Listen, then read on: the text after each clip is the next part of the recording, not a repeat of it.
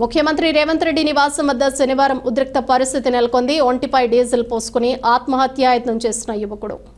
దీంతో పోలీసులు యువకుడిని అడ్డుకున్నారు. దీంతో ఉద్రిక్త పరిస్థితి నెలకొంది. రేవంత్ రెడ్డితో పాటు టీడీపీ నుంచి కాంగ్రెస్లోకి వచ్చిన తనకు గుర్తింపు ఇవ్వట్లేదంటూ ఆవేదన వ్యక్తం చేస్తున్నారు.